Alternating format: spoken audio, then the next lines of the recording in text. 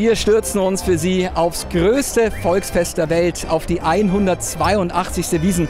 Das Münchner Oktoberfest, das ist ja auch ein Schaulaufen der Prominenz. Die Promis wissen ganz genau, dass sich hier jede Menge Fotografen und Reporter rumtreiben. Also die kommen ganz gerne hierher. Äh, allerdings im Getümmel, in der Masse, da finden wir die Promis weniger. Mehr schon im elitären, im beschaulichen Kreis. In den kleinen Zelten wie drüben zum Beispiel in Käferschenke. Und da schauen wir jetzt hin. Und dort treffen wir dann auch Kati Hummels, die Frau von Profikicker Mats Hummels. Im Juni diesen Jahres hat sich das Paar getraut. Hier auf dem Oktoberfest ist die 27-Jährige allerdings alleine, ganz ohne ihren Ehemann.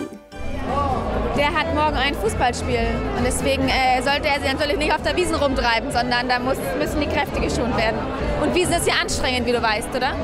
Für die gebürtige Münchnerin gehört allerdings ein Besuch auf dem Oktoberfest dazu. In ihrem Glitzer-Outfit samt Glitzerdirndl und Glitzertasche feiert das Model in der Käferschenke. Nur bei einer bayerischen Tradition macht sie nicht mit, nämlich der Maßbier. Ich trinke keinen Alkohol.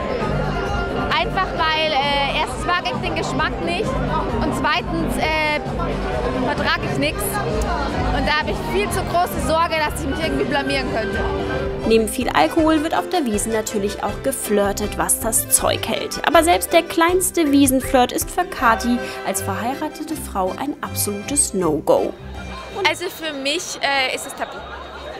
Ich unterhalte mich gerne nett. Egal ob Mann oder Frau, aber flirten tue ich nicht. Ich weiß, wie ich hingehöre. Also ab, also ab Bussi äh, auf der Wange ist dann Schluss, oder? Äh, das gibt's auch nicht.